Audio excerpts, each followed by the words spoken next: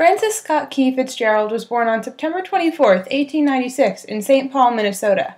His first writing to appear in print was a detective story in a school newspaper at the age of 13. During his school years, Fitzgerald exercised his writing skills for the Princeton Triangle Club, writing scripts and lyrics for their musicals. He also wrote for several magazines, including the Princeton Tiger and the Nassau Literary Magazine. Fitzgerald joined the Army in 1917 and was commissioned as second lieutenant in the infantry. His first novel was The Romantic Egotist, which he wrote in the army because he did not think he would survive the war. This novel was rejected, but the publishers told him to edit it and try again. In June 1918, he was assigned to Camp Sheridan near Montgomery, Alabama, where he met Zelda. After his novel was rejected again after revision, Zelda broke their engagement because she wanted to be able to rely on him for money, which he did not have much of at the time. In July of 1919, he quit his job, moved back to St. Paul, and wrote This Side of Paradise, which was accepted by the publisher in September.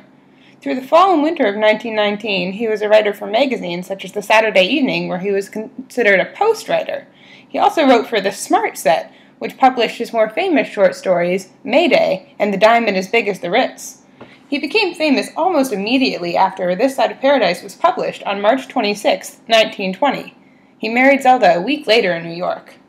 They lived extravagantly, and their lifestyle overshadowed his attempt to be a serious writer. After they lived in New York for a while, they moved to Great Neck, Long Island in the fall of 1922 to be closer to Broadway. Fitzgerald wrote many short stories in this time to get out of debt. He had less time to write, and he became an alcoholic, but he wrote sober. When he and Zelda drank together, they often fought, which was the root of many of their problems. His drinking made people less likely to consider him a writer, but his writing did not suffer from the drinking at this time. His writing reflected the time and place he was living in, and he wrote about what he knew, which was marriage, love troubles, and money issues. In the spring of 1924, Scott and Zelda moved to France to try to find a peaceful and more relaxing life. He wrote The Great Gatsby, which was published in April of 1925.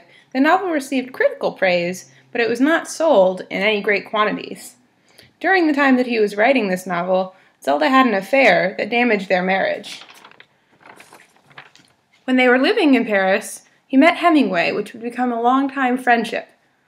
They remained in France until the end of 1926, and they did not, he did not get much writing done there, as Zelda became increasingly unpredictable and he had to take care of her.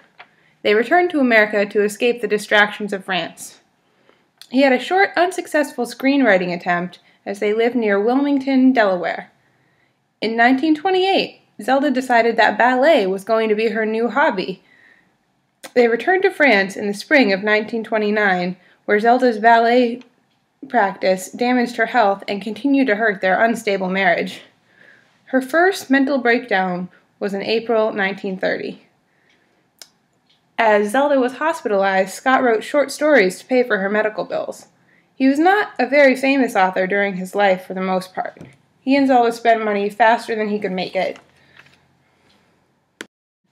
Scott and Zelda returned to America in 1931 and rented a house in Montgomery. Zelda had another collapse in February of 1932 and spent the rest of her life either in hospitals or as an outpatient. The year 1936 to 1937 is known as the crack up for Scott he drank a lot, he was sick, he was in debt, and he was not working much. Some success was in 1937 when he worked on movies, but he did not make enough to save money, only to keep himself out of debt. Scott Fitzgerald died on December 21, 1940, of a heart attack. Zelda died in 1948 in a hospital fire. Scott died thinking that he was a failure in the writing community but less than 30 years after his death, The Great Gatsby began to gain fame, and soon he was known as one of the greatest American authors.